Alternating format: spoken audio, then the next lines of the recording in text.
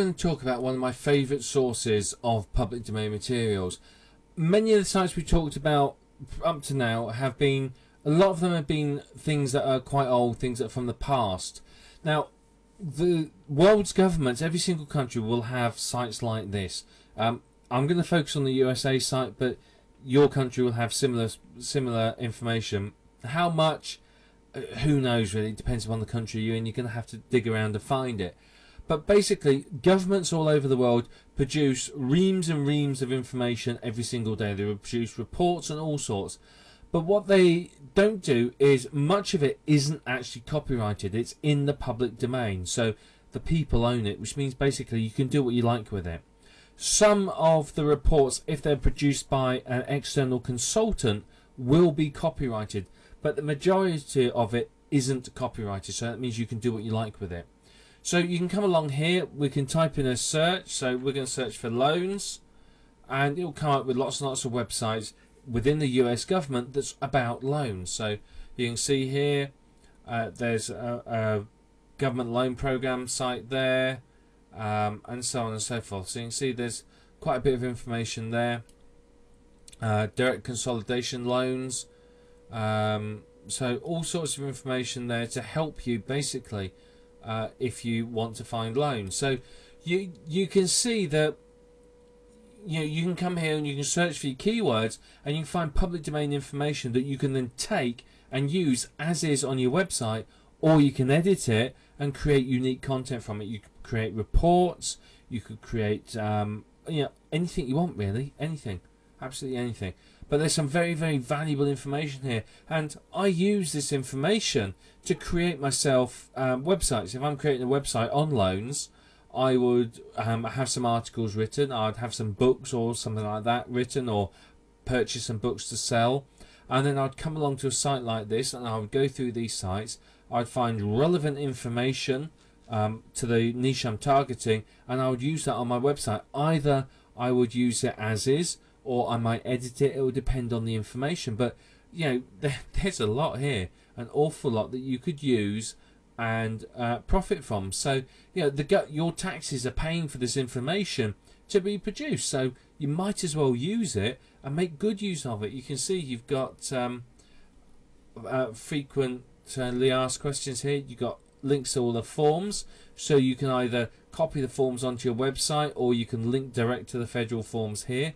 Um, you'd have to check exactly what's sure. You can look at federal aid and so on. So a lot of a lot of different ideas here. But the main thing is, is a lot of this information isn't produced by you know your um, two dollars for 500 words article writer. It's produced by government experts. I mean, these are, are top scientists, top brains, top politicians are producing this sort of information. So you know you can you can access this and use it. So basically, you get access to high quality, top writers for pittance, you know, for nothing, absolutely nothing. Your taxes are paying for it. So, you know, have a search and find the information you want because, you know, a lot of this is freely available. I mean, for example, um, if you look for information on, say, uh, a bankruptcy, it's a big, big subject at the moment with the economic climate there, there's companies that will offer to sell you all sorts of information to help you go bankrupt. But basically, what they're doing is they're giving you information that is freely available from the government websites. It's just the government websites don't know how to rank in the search engines.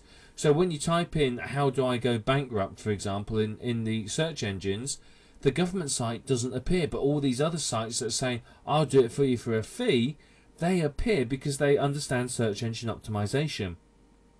But in many cases, all they're doing is presenting you with information that is freely available from a government website. So, you know, have a good look through because there's an awful lot of ideas here for you and a massive amount of information. Okay, now here's another one um, govspot.com slash news slash reports.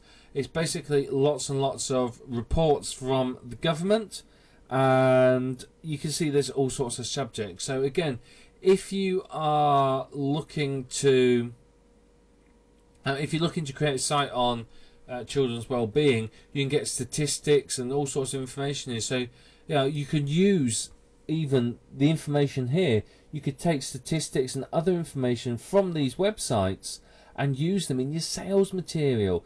You know, if you had a, a statistic, you know, from from this that um, um, over 50% of children live with at least one working parent, um, that really, really can add some uh, weight to your sales letter. So you know you can look at the education comparison and, and so on. You know this is obviously it's a United States website, but what you can do is the, this information, these reports could be used on your website. They could be used as web content, as giveaways. They could be used to enhance the value of a book that you're writing. So if I'm writing a book on about looking after children, I may well come here download some of the reports and read them and use them as ideas for content or as references in order to really give my book that um, weight and value in the eyes of the people who read it. So it's worth your while coming and having a look through this site and finding some of the bits and pieces that are here. I mean, uh, there's information on grants, for example. I know that's a huge topic that people pay lots of money for. Um, uh, education, employment, health, and so on. So you can see there's uh, you know lots and lots of stuff here that you could use for your website to do pretty much whatever you want with. So you know have a good through look through um, this site and see what you can find.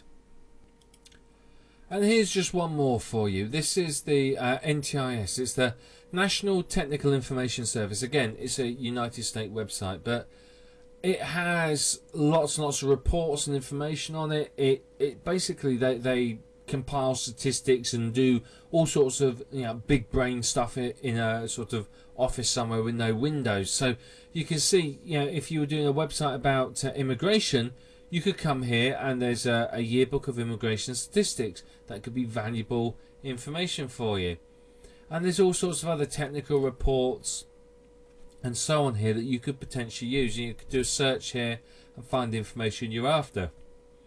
So, I mean, we've only touched on a couple of government sites here, but you know there is so much information produced by the governments that it's it's crazy. It really, really is. I mean, you think about the United States. There's uh, I don't know how many hundreds of millions of people live there now, but there's tens of thousands of people that work for the government that basically spend their life creating reports that go into the public domain to sites like this so that people like you and I can use them to turn a profit.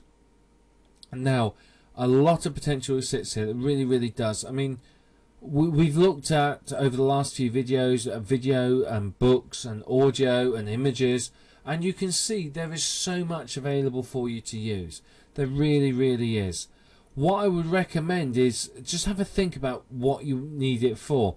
When when you come to create a website, okay, don't don't don't go searching through some of this stuff and and because you you'll get lost. You you could easily get lost if you look through this. With unless you're looking at sort of the audio, video, and public domain books, what you want to do is actually have a website idea and then come to sites like this to find information to back it up again statistics like these will be very, very powerful uh, in a sales letter. So, you know, you, you can use this to enhance your sales letters, enhance your um, books in, on your website. You can use them as website content and so on and so forth. I mean, you can use them as ebook content or uh, whatever it might be. But there is a, a, a, massive amount of information here that potentially could make you an awful lot of money. So I would strongly recommend that you spend some time, just go through these sites, have a look, understand them, understand what they have. Yeah, just set aside a couple of days and say, right, I'm not going to do anything else. I'm just going to look through these sites. Get your head around them and what's in them, because then once you've done that and you're creating websites in the future, you will know what's available to you in the public domain that you could use and it'll help speed up your website creation. So yeah massive potential. There really really is. I mean i can't tell you how much you could earn from public domain. I mean people do earn six figures just from public domain materials. Um, they really really can. I mean uh, some years back uh, i can't remember who it was. I, I think it might have been Yanik Silver he had a, a business where every six months or so he'd release a CD of public domain books, basically, or a DVD. I can't remember which, but there'd be uh, you know a hundred or so, maybe several hundred uh, public domain books and images and stuff like that. And he he would say, right, I'm only releasing a thousand copies of this to the uh, general public. So he'd only sell a thousand copies, but each one would set you back um, five hundred dollars. So you know you can see instantly how much he earned from it using it that way. I don't know whether it's still done now, but there's a lot of potential for you to use uh, these public domain materials and create some really really neat products and services that you know could make you a lot of money. I mean, that's just one way that it's been used, but people use public domain materials to create AdSense sites, reports, ebooks. They they sell them uh, to to business builders. I mean, you could create um, you know business in a box. You know, in various niches with some of the material here, and sell them to business opportunity seekers for uh, quite a substantial sum of money. So, you know, there, there's there's a lot you can do with this, and you're going to have to step outside your box a little and really think about what you can do, what you want to do with it.